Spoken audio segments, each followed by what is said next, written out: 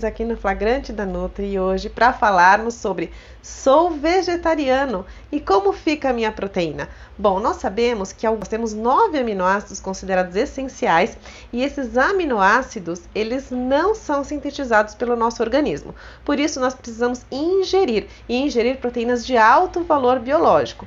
As proteínas que nós consideramos, que nós conhecemos, que são de alto valor biológico, são principalmente a albumina da clara do ovo, as proteínas das carnes e algumas proteínas do leite. Por isso que quando nós não consumimos nenhum produto animal, nós temos que nos preocupar com a proteína. E hoje nós vamos falar sobre isso. Como o nosso organismo precisa de nove aminoácidos essenciais e esses aminoácidos eles precisam estar equilibrados na dieta, no alimento para que eles possam ser melhor absorvidos e utilizados. Isso nós chamamos de biodisponibilidade. Esses aminoácidos eles não estão adequados nos alimentos vegetais da mesma forma que eles estão adequados nos alimentos animais. Então, o que, que acontece? Nos vegetais, nós temos aquilo que nós chamamos de um aminoácido limitante. Ele limita, né, ele está numa quantidade menor e vai limitar a utilização dos demais. Então, ele limita a utilização daquela proteína. Quando nós combinamos os vegetais do tipo leguminosas com cereais, o que, que nós fazemos? Nós combinamos esses aminoácidos e juntando esses aminoácidos, eles aumentam a qualidade da proteína, ou seja, a biodisponibilidade.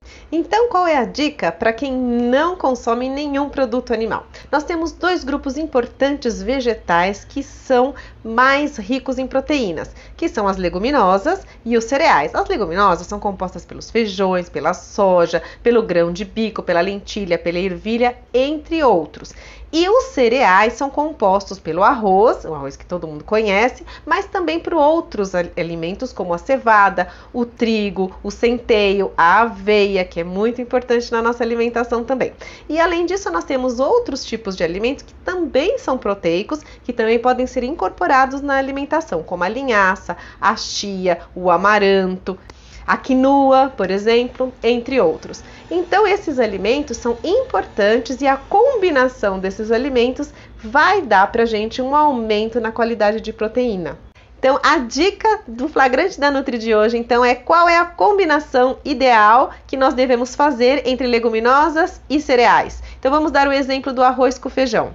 Então a leguminosa, que é o feijão, e o arroz. Temos que utilizar uma parte de feijão para duas partes de arroz, por exemplo. Essa é a combinação ideal para que nós possamos elevar a biodisponibilidade da nossa proteína, ou seja, fazer com que a nossa proteína seja uma proteína mais equivalente às proteínas animais.